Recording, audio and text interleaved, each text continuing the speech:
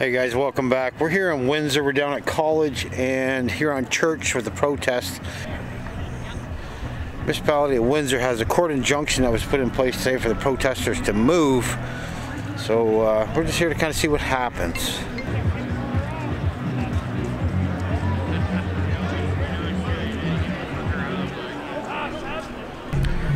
Okay, so I heard reports there's an estimated 1,500 to 2,000 people at this corner here, and up the road there at Tecumseh and Huron Church, they said there's another thousand.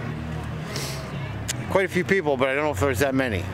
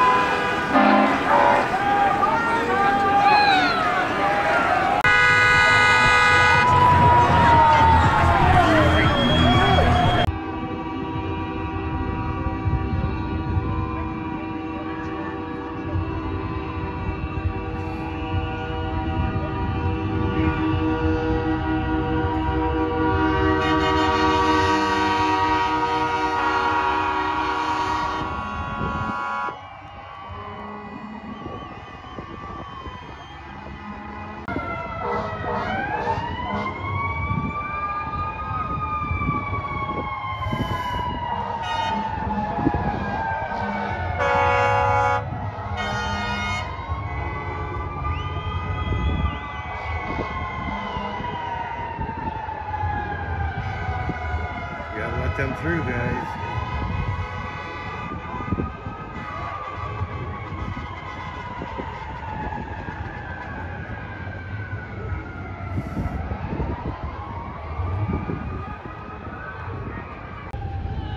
To the mix, there's a fire behind the McDonald's.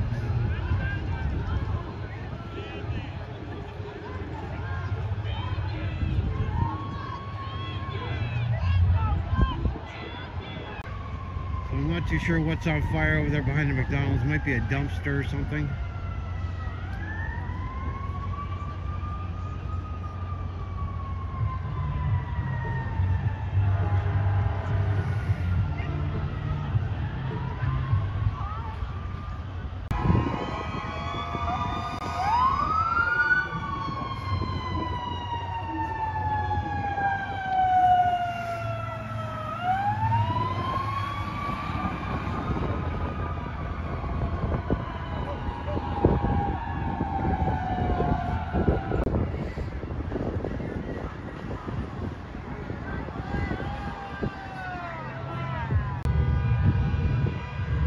Guys, give you a bit of an update. It's about 11 o'clock.